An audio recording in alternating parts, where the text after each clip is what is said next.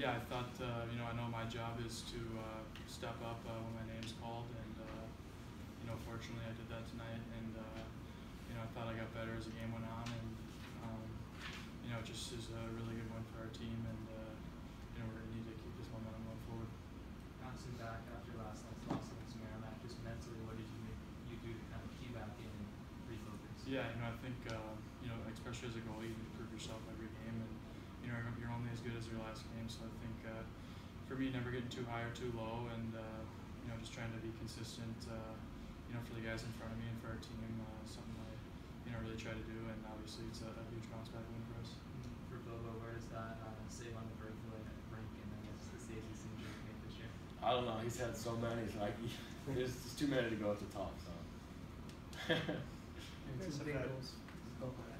You guys have had a real roller coaster week at Ascension. You're named number one on Monday. Uh, then the winning streak ends, get swept by Merrimack, and then kind of like a bend that don't break win tonight. Uh, any lessons learned from from really going through a lot of emotional ups and downs over the last week?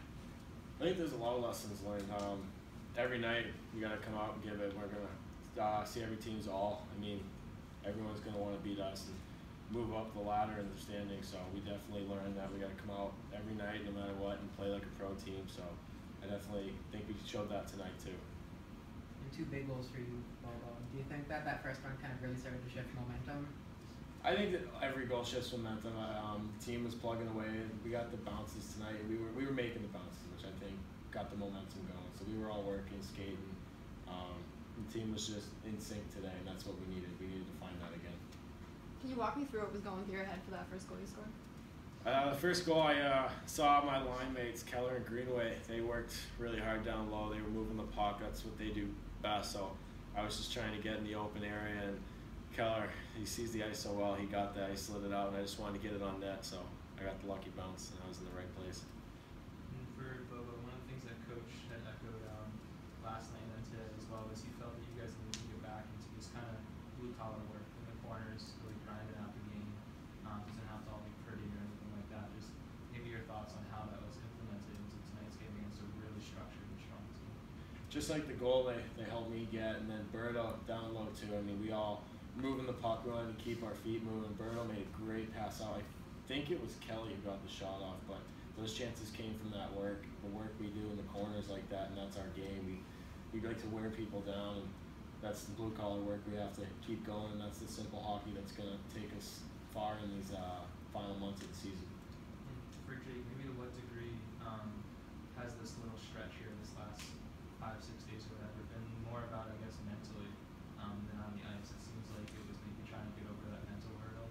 Yeah, no, I think um, obviously, you know, when you're named number one, you know that uh, every game that you play, uh, you're going to get the team's best, and uh, I think obviously that was the case uh, against Merrimack, and uh, for us, I think, you know, we really learned that uh, no matter what the atmosphere, we're playing here at Agganis or you know on the road, we need to bring our best game because every team's uh, you know going to be gunning for us. So I think uh, for us as a team, I think we just need to you know be mentally prepared every game to to battle and to to stick to our systems, you know, which is uh, blue collar hockey. And um, I think we did that tonight got rewarded. You know, Clayton is on a 13 game point streak right now. Coach Quinn called his goal unreal tonight. Just what does his presence mean to you guys as a team? Yeah, I mean he's uh, a difference maker, and uh, you know definitely someone I'm, I'm happy he's uh, on my team, not on the other team, and uh, you know, obviously uh, goes to show obviously why he was uh, such a high pick, and uh, you know is going to have such a long career in the NHL because uh, you know there's no one that sees the ice as well as him, and uh, is as smart as he is on the ice.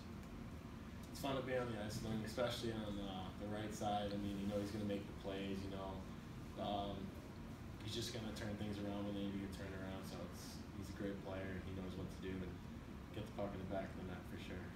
All right, I guess this question's for both of you. Towards the end there, they score that second goal and then immediately go on the power play. How do you keep it together to keep the game in your favor?